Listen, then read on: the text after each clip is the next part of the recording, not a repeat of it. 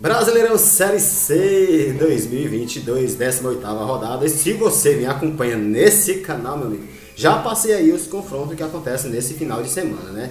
E agora eu vou passar para vocês os palpites aqui do K Futebol. Se liga que o placar aqui é cravado, a parada é de com força, aqui não tem enrolação, beleza? Então, bora logo pro vídeo, né? Palpite top só no K Futebol. Se liga. No primeiro confronto aqui a gente tem aqui Atlético Cearense que está lutando para sair da zona de rebaixamento e Botafogo de São Paulo, Botafogo de Ribeirão. O Atlético Cearense ele é o 17 colocado na tabela. Nos últimos cinco jogos ele teve aí três vitórias e duas derrotas. Olha, olha o Atlético Cearense estava lá na vigésima colocação, tá subindo aí. E se ganhar o próximo jogo, vai sair sim da zona de rebaixamento. Se ele ganhar esse jogo contra o Botafogo, vai sair sim. O Botafogo é o sétimo colocado na tabela. Também nos últimos jogos teve o mesmo resultado do Atlético Cearense: três vitórias e duas derrotas. Eu vou de Atlético Cearense. Atlético Cearense joga em casa, então a vantagem é dele. Vou colocar um placar de 2 a 1 nesse confronto aqui. Vai dar Atlético Cearense. Beleza? Bora lá. Próximo confronto a gente tem aqui ABC e São José. O ABC é o quarto colocado na tabela nos últimos cinco jogos, teve quatro, não, três empates, uma derrota e uma vitória. O São José, o São José é o décimo colocado na tabela nos últimos cinco jogos, três derrotas, um empate e uma vitória. Beleza? Quem joga em casa é o ABC, então a vantagem é do ABC, mas tudo pode acontecer. Lembrando que é 11 contra 11 e o jogo só termina quando o juiz dá o apito final. Né? Então bora lá. Deixa eu ver aqui. ABC e São José. O último jogo do São José ele perdeu, o ABC ganhou, o último jogo empatou. Eu vou de ABC 2 a 0 para o ABC nesse confronto aqui, beleza?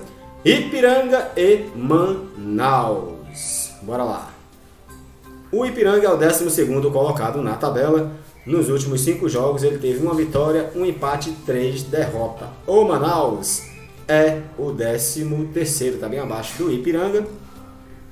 Nos últimos cinco jogos, duas derrotas, dois empates e uma vitória. Né? O Ipiranga, rapaz. O último jogo do Ipiranga, ele ganhou. Viu? E o último jogo do Manaus, ele empatou. Então bora lá. Eu vou de Ipiranga 2 a 1 para o Ipiranga nesse confronto aqui. Beleza? Eu do empate aí. Altos do Piauí. É, a Beatriz apostando no empate. Ipiranga e Manaus. Altos do Piauí e Pai Sandu. O Altos é o 14 colocado na tabela nos últimos cinco jogos, duas vitórias, duas derrotas e um empate. O Pai Sandu é o segundo colocado e se o Mirassol tropeçar mais uma vez, o pai passa dele, menino? É, não vai passar não, porque como tinha um jogo adiado aí entre Mirassol e Botafogo da Paraíba, esse jogo aconteceu nessa semana, não me lembro qual foi o dia, mas foi deu um empate, não me engano se foi 1x1, foi 0x0, sei que deu um empate e o Mirassol foi a 33 pontos, né? Com um empate. E o Botafogo tá com 28. Então se o pai ganhar e o, e o Mirassol perder, empatam aí em pontos, mas tem o saldo de gol, tem muita coisa para acontecer ainda, beleza? Então bora lá. O Ipiranga, o Altos, né? O Paysandu é o segundo colocado. Nos últimos cinco jogos do Pai, ele teve aí duas vitórias, dois empates e uma derrota.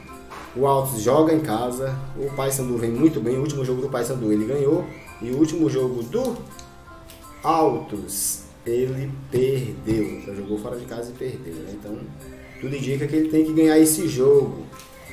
Eu vou nesse confronto aqui, eu vou de empate. Pode ser 1 a 1 ou 0 a 0, mas na minha humilde opinião vai dar empate. 1 a 0 para Beleza? Sandu. Eu vou de empate, a Beatriz disse que vai ser 1 a 0 para o pai Sandu. Então, vamos ver o que, é que vai acontecer. Depois a gente vai conferir essa parada. Brasil de Pelotas e Confiança. O Brasil pode meter as pelotadas aí no Confiança, que pode ficar desconfiado, mas pode confiar no time também e levar a vitória para casa jogando fora de casa. Né? O Brasil de Pelotas é o vigésimo colocado na tabela nos últimos cinco jogos, três derrotas, uma vitória e um empate.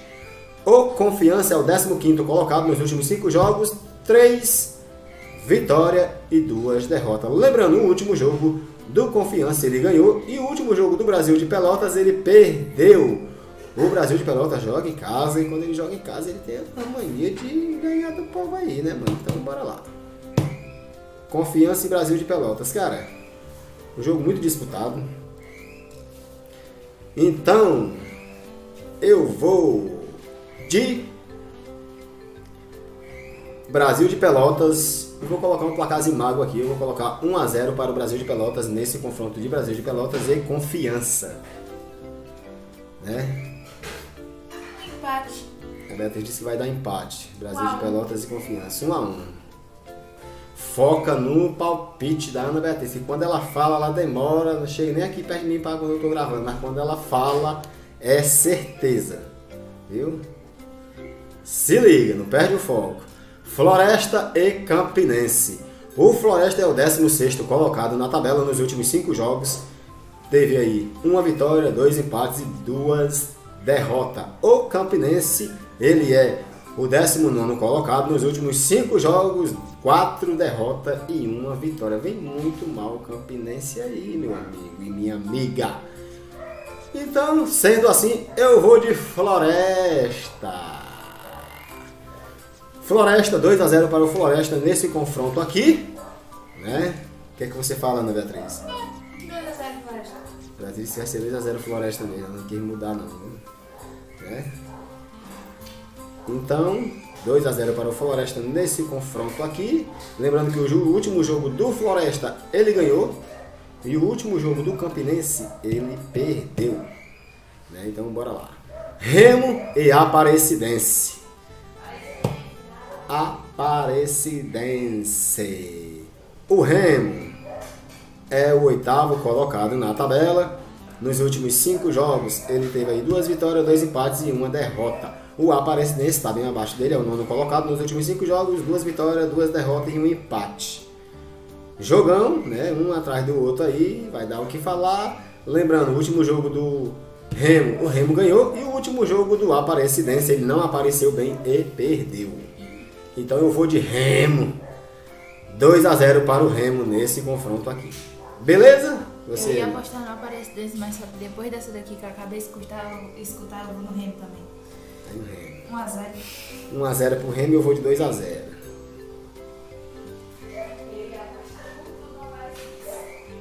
Bora lá.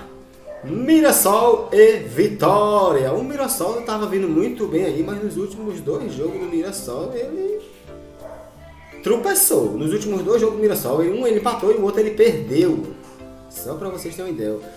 O último ele empatou, que era fora de casa, e o penúltimo ele perdeu, que era em casa. E agora tá jogando em casa de novo. Então bora lá, né? Mirassol nos últimos cinco jogos ele teve aí, ó, duas derrotas, duas vitórias e um empate. O Vitória, todo mundo sabe que o Mirassol é o primeiro colocado, o Vitória é o décimo primeiro colocado nos últimos cinco jogos. O Vitória tá vindo muito bem. Nos últimos cinco jogos ele vem aí sem nenhuma derrota, com dois empates e três vitórias, né? Então, meu amigo, Mirassol, Mirassol, Mirassol, Mirassol tem que ganhar. Nos últimos dois jogos ele perdeu. O Vitória, nos últimos dois jogos ele empatou. O Mirassol empatou um e perdeu o outro, né? Eu vou de empate. 0x0 ou 1x1 nesse confronto aqui. O Mirassol joga em casa, mas últimos jogos aí ele vem decepcionando, né? Então eu vou de empate nesse confronto aqui. E tu, Beatriz? 2x0 Vitória. 2x0, tá confiante no Vitória. Botou 2x0 no Vitória, Vitória vindo fora de casa. Os dois últimos jogos dele foram bons. É, não perdeu, né? Empatou. Então, eu vou de Mirassol. Empate, 1x1 ou 0x0. E a Ana Beatriz vai de 2x0 para o Vitória. Vai que dá vitória, né, mano? Dá vitória, então é vitória. Volta Redonda e Ferroviária. O Volta Redonda é o sexto colocado na tabela nos últimos cinco jogos, duas derrotas e três vitórias. O Ferrão é o décimo oitavo colocado na tabela nos últimos cinco jogos, três derrotas, um empate e uma vitória. eu vou de volta redonda. Na minha humilde opinião, 2 a 0 para o Volta Redonda vai dar Volta Redonda. Né?